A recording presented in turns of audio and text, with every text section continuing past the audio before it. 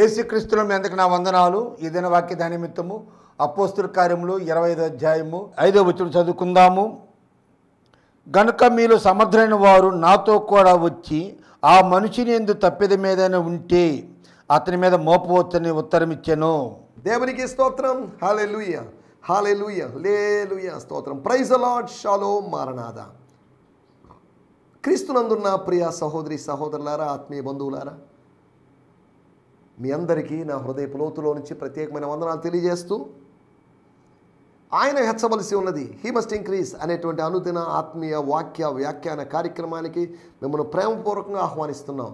ఈ కార్యక్రమం ఎవరైనా మొట్టమొదటిసారిగా చూస్తున్నట్లయితే వారికి ప్రత్యేకమైనటువంటి సాదర స్వాగతం పలుకుతున్నాం. రండి దయచేసి ఇది మీ ఫ్యామిలీ ప్రోగ్రాంగా ఇది మీ ప్రోగ్రాంగా మీరు భావించి ప్రతిరోజు చూడడానికి ప్రయత్నించాల్సిందిగా ఈ కార్యక్రమం కోసం ప్రార్థించాల్సిందిగా కోరుతున్నాను దేవుని స్తోత్రం. ఈ కార్యక్రమాన్ని చూస్తున్న దేవుని సేవకులు ఎవరైనా ఉన్నట్లయితే pastors full time pastors or part time pastors or evangelist వాళ్ళు ఎవరైనా ఉన్నట్లయితే వారందరికీ ప్రత్యేకమైన వందనాలు తెలియజేస్తున్నాను.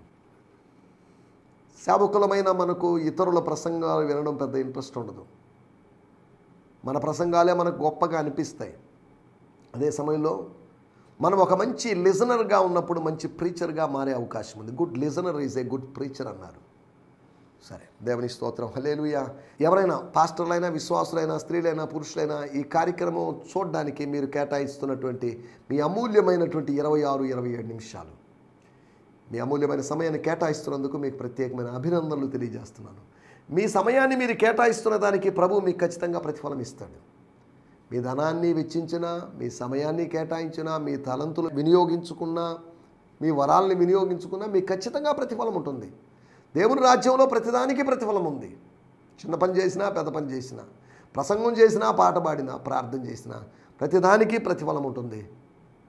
యుద్ధమునకు పోయిన వాని భాగం ఎంతో యుద్ధ సామగ్రి యుద్ధ ఉన్నవాని భాగం కూడా అంతే. కానీ వాళ్ళకి ఎక్కువ వాళ్ళకి తక్కువ అని కాదు.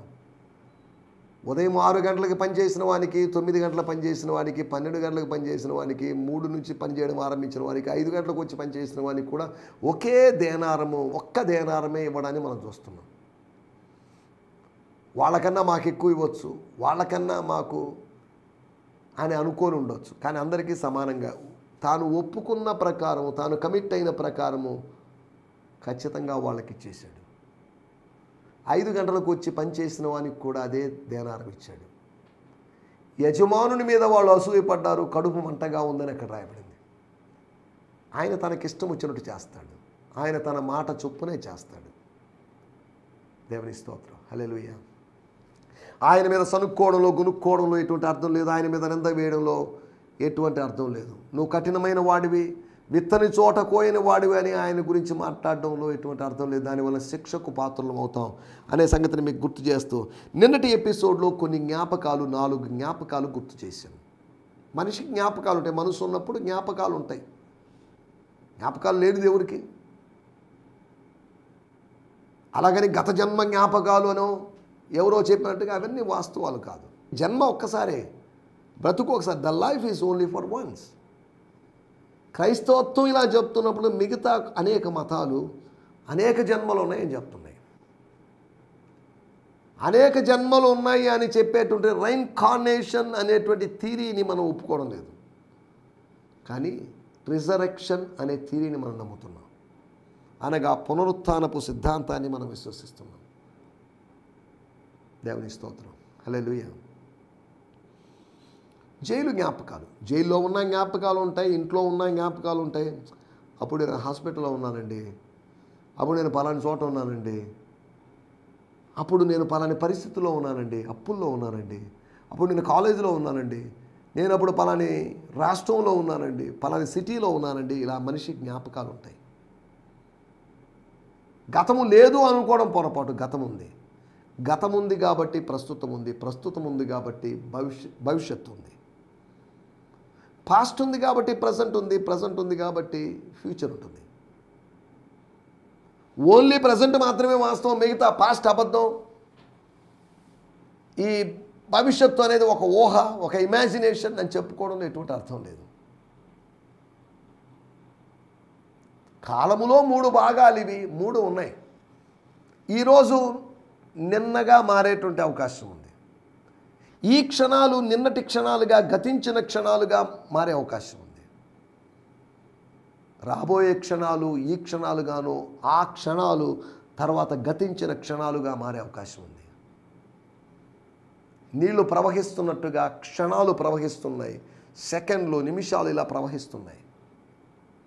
సరే దేవుని స్తోత్రం. ఎప్పుడు గతానికే అంటి పెట్టుకొని వేలాడుతూ ఉండొద్దు. గతము నుంచి నీకు విముక్తి కావాలని కొంతమంది ఫిలాసఫర్స్ మాట్లాడారు. గతం నుంచి మనం విడిపించబడ్డాం గతంలో లేము. మనం ఇప్పుడు ప్రస్తుతం ఉన్నాం. అలాగనే భవిష్యత్తు విషయం ఆలోచిస్తూ భవిష్యత్తులోకి మనం వెళ్ళిపోవడం లేదు. మనం ఉండగలిగింది మాత్రం ప్రస్తుతంలోనే ఉంటాం. ప్రస్తుతంలో ఒక కాన్షియస్నెస్లో ఒక అవేక్నింగ్లో మనం ఉండలేకపోతున్నాం అంతవరకే. ఒక స్పృహలో ఒక చైతన్యములో ఉండలేకపోతున్నాం. కాలం ఎరిగి ప్రవర్తించండి. ప్రభు త్వరగా రాబోతున్నాడని గుర్తెరగండి. అన్నిటి అంతము సమీపమైనదని ఎరగండి. యేసుప్రభు గతం లేదు గతం ఒక కళ ఒక పేడ కళనో లేదా ఇలా చెప్పలేదు. Only now is the only time అని చెప్పలేదు. పౌలు గారు చెప్పారు ఇదే అనుకూల సమయం ఇదే రక్షణ సమయం అని చెప్పారు. కానీ అలాగని గతం లేదు భవిష్యత్తు లేదు అనడం లేదు. కాలములో మూడు భాగాలు ఇవి. దేవుని స్తోత్రం. హల్లెలూయా. కాలము యొక్క బాల్యము లాంటిది గతం. కాలము యొక్క యవన కాలము లాంటిది ప్రస్తుతం కాలము యొక్క వృద్ధాప్యం లాంటిది భవిష్యత్తు. సరే వీటి గురించి అంత తాత్వికంగా నేను మాట్లాడదలుచుకోలేదు కానీ నిన్నటి మన విషయాలు జైలు జ్ఞాపకాలు. కొంతమంది ప్రముఖులు జైల్లో ఉన్నారు జైల్లో ఉండే పుస్తకాలు రాశారు. మహాత్మా గాంధీ లేదా జవహర్లాల్ నెహ్రూ లేకపోతే జాన్ బెనియన్ అనేటువంటి ఆయన జాన్ బెనియన్ అనేటువంటి ఆయన రాసినటువంటి యాత్రికుని ప్రయాణం అనేటువంటి పుస్తకం అనేక వేల లక్షల మంది ప్రజల చేత ఆదరణ పొంది బైబిల్ తర్వాత ఎక్కువ అమ్ముడుపోయిన పుస్తకంగా నిలబడింది ఎంచబడింది. కొంతమంది యొక్క జైలు జ్ఞాపకాలు కూడా అద్భుతంగా ఉంటాయి. ఇంచుమించు ఈ రాజకీయాలు ఈ ఉద్యమాలు ఉన్నవాళ్ళు జైల్లోకి వెళ్ళడం వాళ్ళకేం కొత్త విషయమేం కాదు. జైల్లో ఉన్నప్పుడు మొట్టమొదటిగా ప్రభు తనను వాడుకుంటూ మిషనరీ ప్రయాణంలో తిప్పుతున్నప్పుడు పట్టణము నుంచి పట్టణానికి గ్రామము నుంచి గ్రామానికి సమాజ మందిరం నుంచి సమాజ మందిరానికి సంత వీధుల్లో నుంచి సంత వీధుల్లోకి నడిపించిన విధానాలను జ్ఞాపకం చేసుకుంటూ. బర్ణబాతో చెప్పాడు sir it's better to go back కొత్త ప్రతిసారి కొత్త ప్రదేశాలు అనుకున్నా పాత ప్రదేశాల్లో కూడా వాళ్ళు ఎలా ఉన్నారో చూద్దాం. Let's go and check their spiritual growth మనము అప్పుడు వెళ్ళిన అదే స్థితిలో ఉన్నారా? ఏమైనా మెరుగయ్యారా? మన ప్రమేయం లేకుండా మన యాబ్సెన్స్లో వాళ్ళు ఏమైనా పెరిగారా? ఆదివారం మాత్రమే పెరుగుతూ సోమవారం నుంచి శనివారం దాకా పెరగలేని విశ్వాసులుగా మన పరిశుద్ధులు పరాన్న జీవులుగా మారినటువంటి ఇరవై ఒకటో శతాబ్దపు ఆధునిక విశ్వాసుల పరిస్థితిలా ఉంది? వాళ్ళకి ఎవరో ఒకరు మీడియేటర్ కావాలి. There is no need of mediator గురువు యొక్క అవసరత లేదు ఒక మధ్యవర్తి యొక్క అవసరత లేదు. మనము నేరుగా ప్రభు దగ్గరికి కృపాసనము దగ్గరికి సమీపించవచ్చు. మేము మీడియేటర్స్ ఏం కాదు దయచేసి జ్ఞాపకం చేసుకుని మా కోసం ప్రార్థన చేయండి మా కోసం ప్రార్థన చేయండి. ఏం మీకోసం మీరు ప్రార్థన చేసుకుంటే తప్పే ఉంది? మీకోసం మీరు ప్రార్థన చేసుకునే దేవుడు వింటాడు. మా కోసం ప్రార్థన చేసి ఒక పాస్టర్ ఉన్నాడు లేండి ఆయన మీద డిపెండ్ అవుతున్నారు. ఇది ఎంతవరకు కరెక్ట్? మనము ప్రభుతో గడుపుదాం. ఎవరో ఒకరిని మీడియేటర్గా పంపించడం కన్నా తన తండ్రితో మాట్లాడడానికి తాను నేరుగా వెళ్ళకుండా అబ్షాలోము మీడియేటర్ని పంపించాడు. అరే అబ్నేర్ ఎవరు అతనెవరు? ఆ సేనాధిపతిని నేను మీడియేటర్గా మా నాన్న దగ్గరికి పంపించడం ఏంటండి? మన కోసం ఇతరులు ప్రార్థన చేయడం మంచిదే కానీ అదే సమయంలో మనము ఆయనతో మాట్లాడడం ముఖాముఖిగా మాట్లాడాల్సిన అవసరం ఉంది. కాబట్టి ఇతరుల ప్రార్థనల మీద ఆధారపడద్దు. మీ ప్రార్థనల మీద కూడా ఆధారపడద్దు. ఎవరి ప్రార్థన మీద ఆధారపడద్దు. ఇది మీకు చెప్తున్నప్పుడు కొద్దిగా కష్టంగా ఉండొచ్చు. కానీ ప్రార్థన వినే దేవుని మీదే ఆధారపడండి మరలా చెప్తున్నాను ఈ స్టేట్మెంట్ కొద్దిగా. ఇతరుల ప్రార్థన మీద ప్రార్థనా పరులు అనబడిన వారి ప్రార్థనల మీద ఆధారపడద్దు. మీ ప్రార్థనల మీద కూడా ఆధారపడద్దు. ప్రార్థన ఆలకించే ప్రభు మీదే ఆధారపడండి ఇక్కడ చాలాసార్లు ప్రజలు మోసపోయినట్టుగా ఉన్నారు. ఫలానా ఆయన ప్రార్థన చేస్తే నాకు ఫలానా జరుగుతుందండి. ఫలానా ఆయన ప్రార్థన చేసే సమస్యలు ఎవరి ద్వారా ఆయన ఆయన ప్రార్థించాడని కాదు ప్రభు ఆలకించాడని ప్రభు అనుగ్రహించాడని అద్భుతాలు జరుగుతున్నాయి అంతవరకే కానీ నేనో నువ్వో ప్రార్థిస్తే జరుగుతాయి.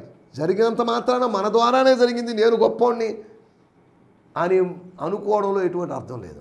కాబట్టి దయచేసి ఆలోచించండి. జైలు జ్ఞాపకాలు తన మిషనరీ ప్రయాణాల్లో రక్షింపబడిన వారు ఎలా ఉన్నారు? కొత్తగా జన్మించిన శిశువులను పోలిన వారు ఎదిగారా? నిర్మలమైన వాక్యమనే పాలు తాగుతున్నారా? ఎక్కడైనా నిర్మలమైన పాలు కాకుండా కల్తీ పాలు ఎవరైనా తీసుకొచ్చి అబద్ధ బోధకులు ఎవరైనా రహస్యంగా జొరబడ్డారా? అని పౌలు వాళ్ళ గురించి కేర్ కలిగి ఉన్నాడు.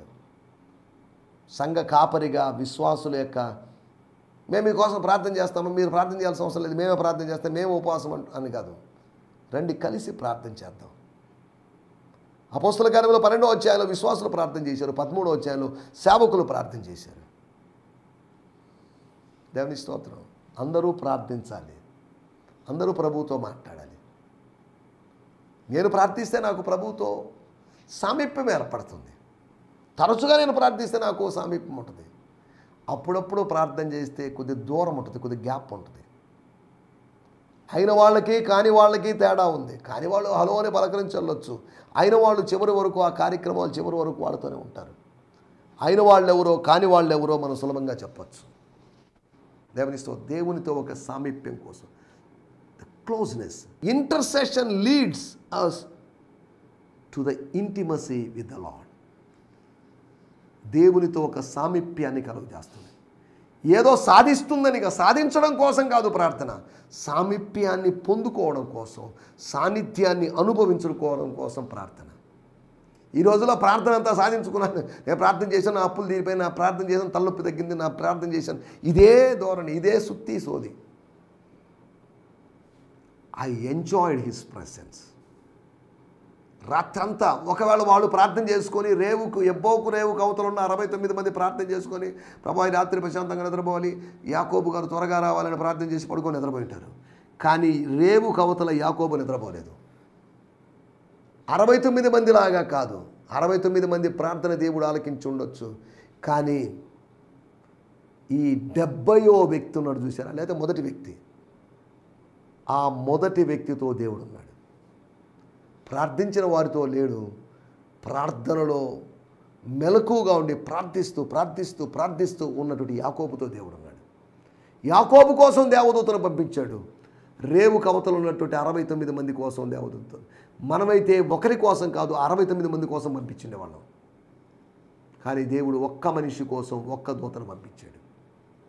అరవై తొమ్మిది మంది కోసం అరవై తొమ్మిది మంది దూతలను పంపించలేదు. అరవై తొమ్మిది మంది కోసం ఒక్క దూతను కూడా పంపించలేదు. దేవుని స్తోత్రం. లేలుయా ఒకటి మొట్టమొదటి విషయము మిషనరీ ప్రయాణంలో ఆ మహిమ కలిగినటువంటి పరిచర్యలో రక్షింపబడిన వారి గురించిన జ్ఞాపకాలు. రెండవది మహత్కార్యం జరగడం. జైల్లో ఏదో జరిగింది. ఆ రోజు జైల్లో జరిగినప్పుడు ఈరోజు జరగాలనేదు అలాగని జరగకూడదని ఏం లేదు. జరగవచ్చు జరగకపోవచ్చు. చూసారా తాను ఉన్నటువంటి ఫిలిప్పీలోని జైల్లోని పిలిపి పట్టణం యూరోప్లోని జైల్లో అద్భుతం జరిగింది. కానీ ఏషియాలోని జైల్లో అద్భుతం జరగలేదు. ఎందుకలా? ఎందుకో మరి మనకు తెలియదు ఇట్స్ మిస్టరీ. రెండు సంవత్సరాలు భూకంపం రాలేదు. అంటే జైలు బద్దలు కావడానికి పునాదులు బద్దలు కావడానికి పునాదులు అదరడానికి సంఖ్యలు విడిపోవడానికి టైం పట్టింది అక్కడ. శిష్యులు లేకపోతే ఎరుషులేములోని సంఘ సభ్యులు ప్రార్థించినటువంటి ఇరవై నాలుగు గంటల్లోపు అక్కడ జవాబు వచ్చింది. కానీ రెండు సంవత్సరాలైన పౌలు ప్రార్థనలకు ఇక్కడ జవాబు రాలేదు. కొన్ని ప్రార్థనలకు ఆలస్యంగా జవాబులు వస్తాయి. అలాగని ఆ ప్రార్థన అలక్ష్యం చేయబడిందని కాదు దాని అర్థం. దేవుని స్తోత్రం. హల్లేలుయ. అది ఆలస్యంగా వచ్చిన నువ్వు కనిపెట్టుము. ఆలస్యంగా జవాబు వచ్చిన కనిపెట్టు. అది ఆలస్యమైన నిరాశ చెంది దేవుని దూషించి దేవుడు వద్దని నాకు అని ఇంట్లో ఆరాధనకు వెళ్ళకుండా ఇంట్లో అలిగి కూర్చోవద్దు. దేవుని స్తోత్రం. హలేలుయ రెండవది మహత్కార్యం జరగడం. ఒకవేళ బహుశా పౌలు ఎదురు చూస్తూ ఉండొచ్చేమో ఏదైనా జరగవచ్చు చెరసాల గోడలు కూలిపోవడం చెరసాల తలుపులు ఊడిపోవడం. ఏదైనా జరగవచ్చు నీ జీవితంలో ఏదైనా జరగవచ్చు something would happen at any time in your life ఏమీ జరగదండి. మా పితరులు మాకు వివరించిన అద్భుత కార్యములు ఏమాయను? సూచక్రియలు ఏమాయనని గిద్యోన్లాగా అడగొద్దు. మా పితరుల జీవితంలో జరిగినటువంటి కార్యాలు ఈరోజో రేపో మరుక్షణమో జరిగే అవకాశం ఉంది అన్నట్టుగా ఎదురు చూద్దాం. దేవుని స్తోత్రం. మూడో విషయాన్ని మనం జ్ఞాపకం చేసుకున్నాం. ప్రభు తనతో మాట్లాడిన మధురమైన మాటలు. ధైర్యంగా ఉండు. Don't fear I'm here I'm here with you నేను నీతో కూడా ఉంటాను. స్తోత్రం. మనతో కూడా ఉండేటువంటి దేవుడు. కష్ట సమయాల్లో అందరూ చేయి విడిచిపెట్టిపోయినప్పుడు నీకు నేనున్నాను డోంట్ వర్రీ అందరూ నన్ను విడిచిపోయారు. తిమోతి మై సన్ ఏపీసీ సంఘములో పరిచయం చేస్తున్న నా ఆత్మీయ కుమారుడా అందరు నన్ను విడిచిపోయారు. నో ప్రాబ్లం కానీ ప్రభువు నా పక్షాన ఉన్నాడు. దేవుని స్తోత్రం. Hallelujah you are not alone నువ్వు ఒంటరివాడివి కాదు ఒంటరిదానివి కాదు. నీ ప్రార్థనా గదిలో కూడా నువ్వు ఒంటరిదానివి కాదు నువ్వు ఒంటరివాడివి కాదు. ప్రభు నీతో ఉన్నాడు. కానీ ప్రభు ఉన్నాడనే సంగతి గుర్తించలేదు కాబట్టి నేను ఒంటరివాడిని నేను ఒంటరిదాన్ని అంటున్నారు భర్త చనిపోయినంత మాత్రం నువ్వు ఒంటరిదానివి కాదు. భార్య చనిపోయినంత మాత్రం నువ్వు ఒంటరివాడివి కాదు. ప్రభు నీతో ఉన్నాడు. మనుషులు ఉంటారు చచ్చిపోతారు వస్తుంటారు పోతుంటారు ఈ పెద్ద విషయాలు కాదు. కానీ నువ్వు ఒంటరి వాడివి కాదు. యు ఆర్ నాట్ అలో నేను మిమ్మను అనాథలుగా విడువను. అనాథలు అంటే నాథుడు లేని వాళ్ళు అని అర్థం. నాథుడు అంటే భర్త యజమానుడు పెద్దవాడు లేకపోతే రాజు అని అర్థం. అనాథ అంటే నాదులు కలిగిన వాళ్ళు నాదులు. అనాథలు అంటే నాదుడు లేని వాళ్ళు. శిష్యులారా మీరు నాదుడు లేని వాళ్ళు. ఇంకో నాదుడు వస్తాడు. వేరొక ఆదరణకర్త వస్తాడు. నేను ఇప్పుడు నాదుడుగా ఉన్నాను. నేను మీతో ఉన్న నాదుడుగా ఉన్నాను. మీలో ఉన్న నాదుడు ఒక ఆయన వస్తాడు. ఆయనే పరిశుద్ధాత్ముడు వేరొక ఆదరణకర్త. నేనొక ఆదరణకర్తని ఆయన వేరొక ఆదరణకర్త. కాబట్టి మన అనాథలం కాదు. దేవుని స్తోత్రం. మనం ఒంటరి వాళ్ళం కాదు. మన అల్పసంఖ్యాకులం కాదు. స్తోత్రం. హల్లెలూయా. మన యొక్క ఈ ఆలోచన విధానాన్ని మనం మార్చుకోవాలి. తర్వాత మనం ఆలోచించిన విషయం చివరి విషయం మారనటువంటి ఫెనిక్స్. అతన్ని చూసినప్పుడు అతని గురించి ఆలోచించినప్పుడు ఫెలిక్స్ ఎందుకు ఇలా చేసిపోయాడు? నా దగ్గర నుంచి ఏదో ఆశించాడు తన దగ్గర నుంచి ఏదో ఆశిస్తున్నాడనే సంగతి పౌలుకు అర్థమైందో లేదో మరి అర్థమైంటుంది. నా దగ్గర డబ్బులు ఎక్కడున్నాయని? ఒకవేళ డబ్బులు ఉన్నా కానీ ఆ నలుగురు ఐదు మంది యమనస్తులు లేకపోతే వారి యొక్క ఆ ప్యూరిఫికేషన్ సెరిమనీకి లేకపోతే వాళ్ళని దేవాలయం తీసుకొచ్చి వారి ఖర్చులకి లేకపోతే ఆ వ్రతానికి లేదా ఆ శుద్ధీకరణ కార్యక్రమాలకి వాటికి ఖర్చు అయిపోయింది నా దగ్గర ఎక్కడ ఉన్నాయి డబ్బులు?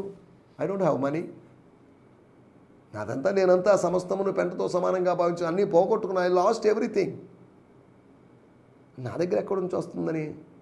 అంటే ఇతని దగ్గర నుంచి కాదు ఇతన్ని పంపించిన ఆ ఏజెన్సీ ఆ సంస్థ నుంచి ఆ మిషన్లో నుంచి ఆ కౌన్సిల్లో నుంచి జెరూసలేం కౌన్సిల్లో నుంచి ఏదైనా డబ్బులు వస్తాయని ఆశించాడు. వీళ్ళ గ్రూపులో నుంచి వీళ్ళ డినామినేషన్ నుంచి ఆర్గనైజేషన్లోంచి ఏదైనా వస్తుందని ఆశించాడు. కానీ సారీ అండి we don't have any silver and gold మా దగ్గర వెండి బంగారములు లేవండి ఫెలిక్స్ గారు. మా దగ్గర వెండి బంగారం లేవండి పుట్టిన మొదలుకొని కుంటివాడైన సోదరుడా. మా దగ్గర వెండి బంగారములు లేవు. కొంతమంది నాకు ఫోన్ చేసి మాకు ఏదైనా ఆర్థిక సాయం చేయండి అంటే డబ్బులుండి టీవీ కార్యక్రమం నేను చేయడం లేదు. డబ్బులు లేవు. డబ్బులుండి చేస్తే దాంట్లో పెద్ద త్యాగం లేదు ధైర్యం లేదు అన్న విశ్వాసం ఉండదు డబ్బు లేవు కానీ తెగించి ఒక అడుగు ముందుకు వచ్చేస్తున్నాం దేవుడు ఇస్తాడు అని నమ్మకం. దేవుడు కార్యం చేస్తాడు అని నమ్మకం. దేవుని స్తోత్రం. హలేలుయ మారని ఫిలిక్స్ను గురించిన జ్ఞాపకాలు. ప్రభు వాడిని మార్చయ్యా. ఎంతోమందిని నన్నే మార్చావు వాడిని మార్చడం నీకు కష్టమా? ఫెలిక్స్ కన్నా దుర్మార్గుడని నన్ను మార్చావు. ఫెలిక్స్ నరహంతకుడు కాదు నేను నరహంతకుడిని. నన్ను మార్చావే? వాడిని మార్చు. చూడండి ఇటువంటి జ్ఞాపకాలు జైలు జ్ఞాపకాలు పౌరు జీవితంలో ఉన్నాయి. దేవుని స్తోత్రం. హల్లెలూయ. రండి ఈ దినం కోసం మనం ఏర్పాటు చేయబడిన లేఖన భాగం ఇరవై ఐదో అధ్యాయము. అపోస్తల కార్యములు ఇరవై ఐదో అధ్యాయం ఐదో వచనం. కనుక మీలో ఆ, సమర్థులైన వారు ఉమ్, నాతో కూడా వచ్చి ఉమ్. ఆ మనిషి నుండి తప్పే తప్పే మీద ఉంటే ఉమ్. అతని మీద మోపవచ్చును ఉత్తరమిచ్చాను he told them who Festus ఫేస్తూ చెప్పినట్టు మాట. హీ టోల్డ్ దెమ్ అనగా వాళ్ళతో ఈ ప్రధాన యాజకులతో యూదుల్లో ముఖ్యమైన వాళ్ళతో ఫిర్యాదులు వేయడానికి సిద్ధంగా ఉన్న వాళ్ళు పౌలును మర్చిపోకుండా పౌలు మీద మోపినటువంటి నేరములను కొత్త నేరాలు ఇవన్నీ మనసులో పెట్టుకుని ఉన్న వాళ్ళు వాళ్ళతో అన్నాడు you your leaders can come with me to season నాతో పాటు వచ్చే పని రండి అండి నేను కొన్ని రోజులు ఉంటాను ఇక్కడ. ఎనిమిది పది రోజులు ఉంటాను. నేను వెళ్తాను. కైసరికి వచ్చే పని రండి మీరు. If this man has broken any laws ఒక చట్ట ఉల్లంఘనలు ఆజ్ఞాతిక్రమాలు ఆజ్ఞను ఉల్లంఘించడం కానీ చేస్తే you can bring charges against him there అక్కడ కూడా తీసుకోనండి మీరు వదిలిపెట్టద్దు. మీరు నన్ను వదిలిపెట్టేటట్లేరు వాడిని వదిలిపెట్టట్లేరు వాడు దేవుని వదిలిపెట్టట్లేడు ఇది పరిస్థితి. సరే మనం ఇక్కడ ఆలోచిస్తున్న విషయాల్లోకి వచ్చేద్దాం. చదువుదాం. వాడుక భాషలో చదువుకుందాం. మీలో సమర్థులైన వారు అనేదానికి మీలో ముఖ్యమైన వాళ్ళు అని ఉంది. ఈ ప్యాషన్ ట్రాన్స్లేషన్లో మీలో నాయకులైన వారు మీలో ముఖ్యులైన వారు మీలో సమర్థులైన వారు who are in the authority సమర్థులైన వారు అంటే అథారిటీ మీరు నా వెంట వస్తే let those there for he said who are in authority among you go with me and come with me or join with me if there is anything wrong in the man let them accuse him స్తోత్రం. మన title సమర్థులైన వారు సమర్థులైన వారు అంటే సామర్థ్యం కలిగిన వాళ్ళు అని అర్థం. కెపాసిటీ కలిగిన వాళ్ళు. స్టఫ్ కలిగిన వాళ్ళు. సబ్జెక్టు కలిగిన వాళ్ళు. లేకపోతే స్తోమత కలిగిన వాళ్ళు. లేదు అంటే ఒకదాన్ని ఈజీగా హ్యాండిల్ చేయగలిగిన వాళ్ళు. సమర్థులైన వారు అంటే నాయకులు. సమర్థత కలిగిన వాళ్ళు. సామర్థ్యం కలిగిన వాళ్ళు. అంతవరకు ఆయన సమర్థించుకునే వాళ్ళు కాదు. సమర్థులైన వారు ఉంటారండి జాయిన్ కండి. ఐదు మందో పది మంది ఎంతో మంది నో ప్రాబ్లం. ప్రధాన యాజకులారా మీరేనండి. యూదుల్లో ముఖ్యులైన వాళ్ళ మీరేనండి. సమర్థులైన వారు. సమర్థులైన వారి గురించి నేను త్వరగా నాలుగు రకాల సమర్థుల గురించి నాలుగు రకాల సామర్థ్యం కలిగి ఉండాల్సిన అవసరం గురించి మీకు జ్ఞాపకం చేయబోతున్నాను మొట్టమొదటిగా నిర్గమకాండం పద్దెనిమిదో వచ్చాము ఇరవై ఒకటో వచ్చిన. ప్రజలందరూ సామర్థ్యము. దైవభక్తి ఆ ప్రజలందరిలో సామర్థ్యము దైవ సత్యాశక్తి కలిగి ఆ, లంచగొండలు కాని మనుషులను ఏర్పరచుకొని ఆ. వెయ్యి మందికి ఒకరిగాను వెయ్యి మందికి ఒకరిగా నూరు మందికి ఒకరిగా యాభై మందికి ఒకరిగా పది మందికి ఒకరిగాను ఆ. వారి మీద న్యాయపత్రం వెయ్యికి ఒకరిని వందకు ఒకరిని యాభై మందికి ఒకరిని పది మందికి ఒకరిని ఇలా పెట్టుకోండి. తన అల్లుడైనటువంటి మోషే బాధపడుతుంటే చూడలేక తన ఇంటికి వస్తే ఎప్పుడో ఇంటికి వస్తే తనను పలకరించడానికి కూడా సమయం లేనంత బిజీగా ఉన్నటువంటి ముసలివాడైన తన అల్లుడిని చూసి అంటే మామయ్య కూడా ముసలివాడు అయిపోయాడండి అతనికి ఒక సలహా ఇస్తున్నాడు. ఇంత వయసు వచ్చింది ఎయిట్ ఇయర్స్ దాటింది అయినా నువ్వేంటి ఇలా చేస్తున్నావు? ఎంతసేపు నిలబడతావు? ఎంతసేపు న్యాయం తీరుస్తావు? ఎంతసేపు కూర్చుంటావు? యూ నీడ్ సమ్ రెస్ట్ ఇది రిటైర్మెంట్ ఏజ్లో నువ్వు మినిస్ట్రీలోకి వచ్చావు. సరే వస్తే వచ్చావు. నేను రిటైర్మెంట్ అయిపోయాను. నువ్వు రిటైర్మెంట్ కాదలుచుకోలేదు. రిటైర్మెంట్ ఏజ్లో ఎందుకు ఆయన నిన్ను అపాయింట్ చేసుకున్నాడు? సరే నో ప్రాబ్లం మీలో సామర్థ్యం కలిగిన వాళ్ళు సామర్థ్యం కలిగిన వెయ్యి మందిని సామర్థ్యం కలిగినటువంటి ఇలా డివైడ్ చేసుకొని వాళ్ళ మీద కొంతమందిని లీడర్స్ని అపాయింట్మెంట్ చేయమని మోసే మామగారైనటువంటి హోబాబు కావచ్చు రఘుయేలు కావచ్చు ఆయన ఇచ్చిన సలహా. దేవుని స్తోత్రం. తీర్పు తీర్చడంలో సమర్థులైన వారు జడ్జిమెంట్ ఇవ్వడంలో డిసైన్ చేసి పనిష్మెంట్ ఇవ్వడానికి తగినటువంటి జడ్జిమెంట్ ఇవ్వడానికి నాలెడ్జ్ కలిగిన వాళ్ళు. దేవుని స్తోత్రం. రెండవది ఇరవై ఐదో అధ్యాయము ఏడో వచనంలో రాయబడిన మాట.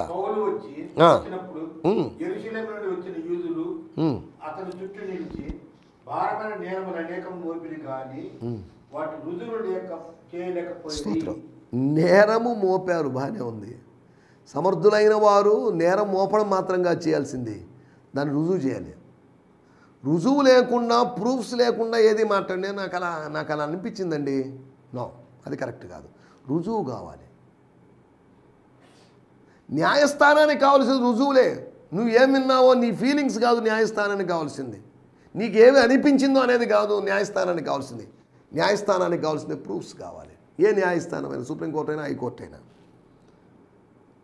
ఇప్పుడు అక్కడ రాయబడిన మాటలు నేరము మోపి రుజువు చేయడంలో సమర్థులైన వాళ్ళు కావాలి. తీర్పు తీర్చడంలో సమర్థులైన వాళ్ళు ఇస్రాయేల్ జనాంగానికి కావాలి. మోషేకు సహకారులుగా కావాలి. నేరము మోపి నేరము మోపడం అందరూ మోపగలరు. దాన్ని రుజువు చేయగలిగిన వాళ్ళు. నా దగ్గర ప్రూఫ్స్ ఉన్నాయి దానికి. ఊహాగానాలతో నేను చెప్పడం లేదు. ఇమాజిన్ చేసి నేను చెప్పడం లేదు. కాల్పనిక కథలతో నేను రాలేదు. ఫ్యాబ్రికేటెడ్ స్టోరీస్తో నేను రాలేదు. I have proofs. ప్రూఫ్స్ కావాలి మనకు కొన్ని.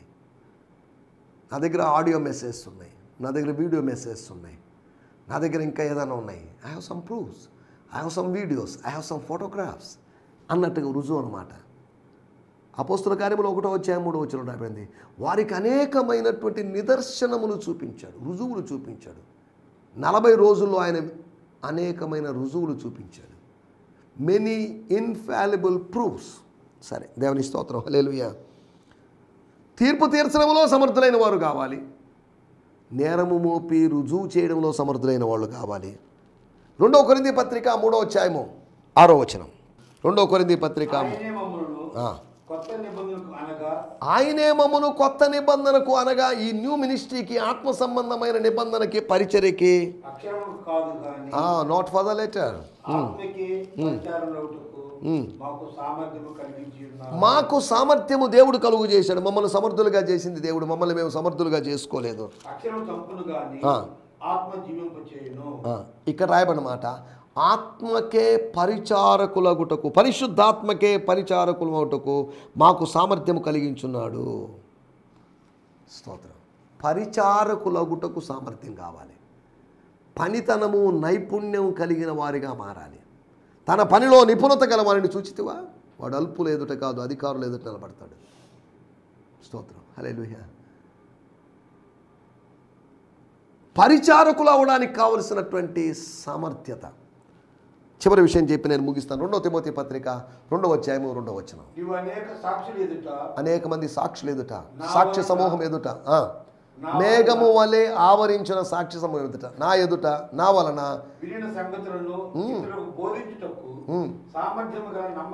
బోధించుటకు సామర్థ్యం కలిగినటువంటి అనగా హోమోలిటిక్స్ తెలుసుకున్నటువంటి ప్రసంగ శాస్త్రం తెలుసుకున్నటువంటి హెర్మోనిటిక్స్ తెలుసుకున్నటువంటి వ్యాఖ్యాన శాస్త్రం తెలుసుకున్నటువంటి అపోలజెటిక్స్ తెలుసుకున్నటువంటి అనగా విశ్వాస నిరూపణ శాస్త్రాన్ని ఎరిగిన వారని కాదు. బోధించడానికి సామర్థ్యం. బోధించుటకు ఆయన వారికి ఉపకారాత్మను కలుగు చేసెను నేహమే గ్రంథము తొమ్మిదో వచ్చాను రాయబడింది. నాలుగు విధాలైన సమర్థులైన వారి గురించి. తీర్పు తీర్చడంలో సమర్థులైన వారు నేరం మోపి రుజువు చేయడంలో సమర్థులైన వారు పరిచారకులు అవడానికి సమర్థులైన వారు అంతేకాకుండా బోధించడంలో సమర్థులైన వారు. ఎవరికైనా దేవుడు సామర్థ్యం కలుగు చేస్తాడు దేవా మా సామర్థ్యాన్ని మా కెపాసిటీని ఇంకా ఇంక్రీజ్ చేయి ఇంప్రూవ్ చేయని మనం అడుగుదాం. సమర్థులుగా మార్చబడాలి. మనలో అనేకులు సమర్థులుగా మార్చబడడానికి ప్రభు మనకు సాయం చేయనుగాక. ఆమె హలెలుయ మీ అందరికీ ఈ సందేశము మీకు ఆశీర్వాదకరంగా ఉందని నమ్ముచున్నాము. ప్రార్థన అవసరతల కొరకు మమ్మల్ని సంప్రదించవలసిన మా చిరునామా గిద్యోన్ మిషన్ చర్చ్ ఆరవ వీధి శాంతినగర్ నెల్లూరు ఫోర్ ఆంధ్రప్రదేశ్. పిన్ ఐదు రెండు నాలుగు సున్నా సున్నా నాలుగు. మా ఫోన్ నంబర్లు seven zero three six double four three six one three మరి ఒక number nine three nine double two nine three zero one zero మా email ID G F I H M I two thousand fifteen at the rate of Gmail dot com దేవుడు మిమ్మను ఆశీర్వదించునుగాక. ఆమె